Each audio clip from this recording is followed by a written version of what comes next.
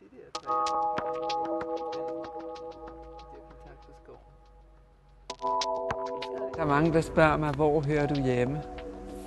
Jeg hører hjemme her. Ikke? Min kulturelle baggrund føler jeg ikke nødvendigvis er det, som gør, at jeg udtrykker mig på en speciel måde. Det er det nærvær, der er med andre lande, når man er i Danmark. Er man ikke bare i Danmark, man er i Europa. Ja. Og hvad Jeg hedder Linde Utzon. Jeg er kunstner. Jeg hedder Mika Utzon Popov, og jeg er far og kunstner. Jeg hedder Naja Utzon Popov, og jeg er kunstner og designer.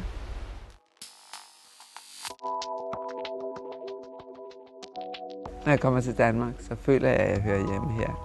Når jeg kommer tilbage til Spanien, nu har jeg været der i mange år, så føler jeg også, at det er mit hjem. Når jeg arbejder i Mexico, så føler jeg, at det er mit hjem, fordi der kan jeg lave en hel masse ting, som gør, at jeg, at jeg glemmer min egen person.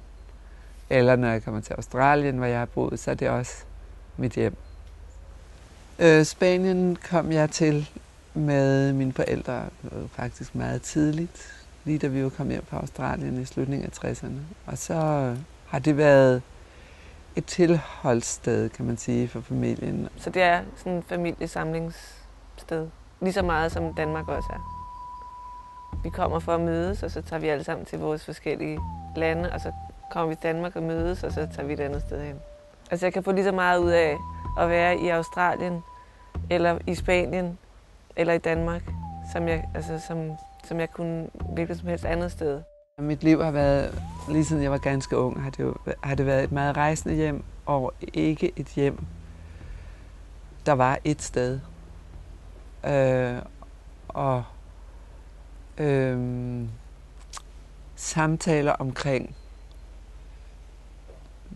næsten alting har aldrig været lukket inde i, at det kun fungerede et sted. Og med hensyn til kunst, arkitektur og sådan noget, så har det jo været noget, der var over hele verden. Jeg, jeg er meget knyttet til Mallorca. Jeg tror, det er mit tredje hjem i virkeligheden. I og med, at jeg opvoksede opvokset der som barn, har det haft en indflydelse på, hvordan jeg så ser livet der. Og, og, og den oplevelse, det har været, de minder, der er forbundet med det. Der er noget i, i det spanske, som jeg holder enormt meget af.